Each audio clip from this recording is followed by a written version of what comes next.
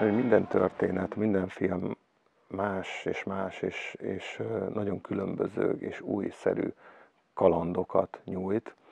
A kaland szó az ebben az esetben nagyon is érvényes, hiszen mi gyakorlatilag leköltöztünk egy kvázi családként oda, hogy ezt a filmet létrehozzuk, megharcoljunk érte és megszülessen. És hát ez, ez, egy, ez egy nagyon komoly bizalmi szövetség.